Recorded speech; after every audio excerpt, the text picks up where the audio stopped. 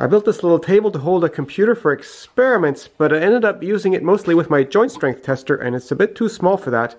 So I'll build a bigger one. The frame for this table is going to be similar to this little desk, but without the height adjustment.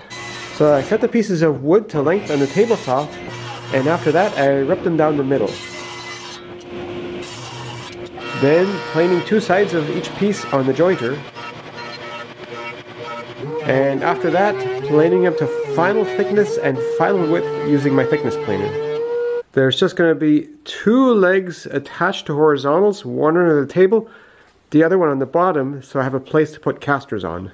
With this cantilever like that, the strength of this joint is key, so I'll be putting as many mortise and tenons on here as I can fit. And the piece is just wide enough that I can put three one quarter inch tenons next to each other with a quarter inch in between. And here's cutting the mortises.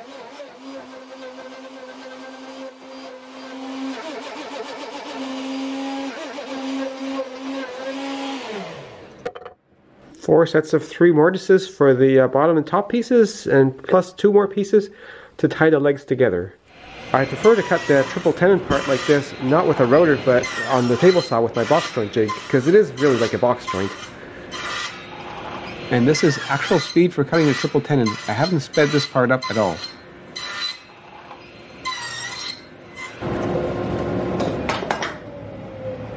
Now I just need to round these corners for it to actually fit in there.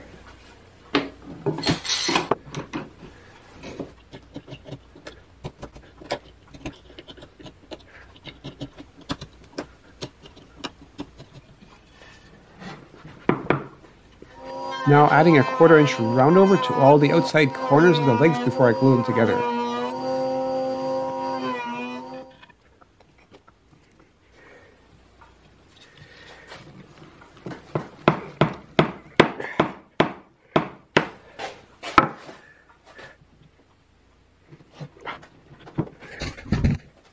I was having a heck of a time closing those joints. They fit tightly when they were dry, but with the glue in, the wood swelled a bit and it was just almost impossible to close them.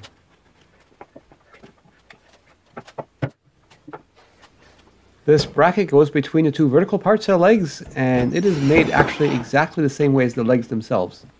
Now I could have just put mortises in the legs themselves and put the crosspiece in that way, but uh, this way it's screwed on, which means I can actually take this table apart into components that are relatively flat.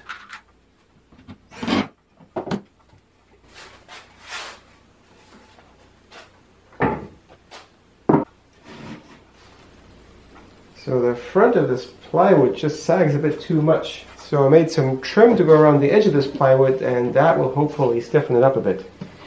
And that trim is just a rectangular piece with a rabbit cut out of it. And I cut that by making two cuts with a table saw.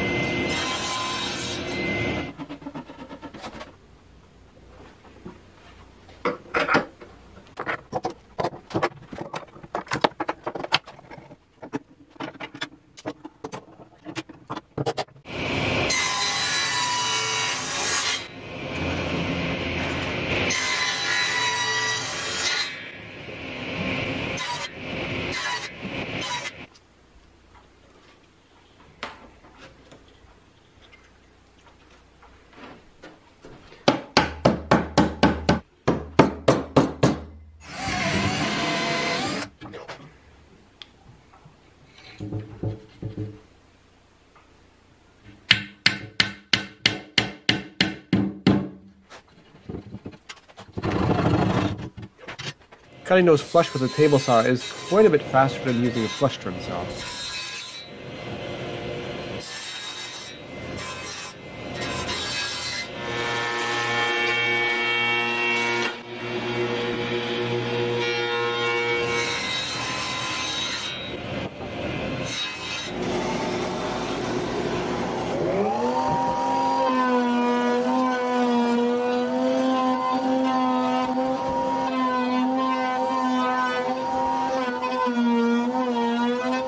I varnished the pieces off camera, now it's time for the final assembly.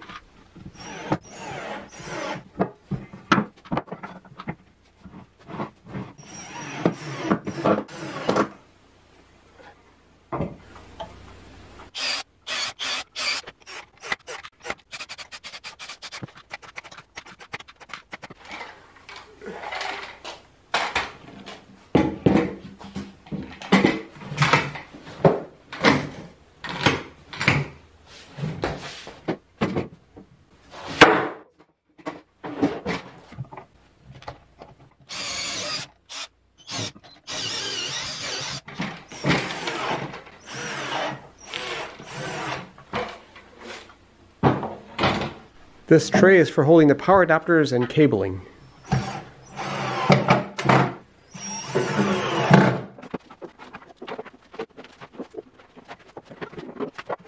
So that's a much better sized table for the strength testing apparatus.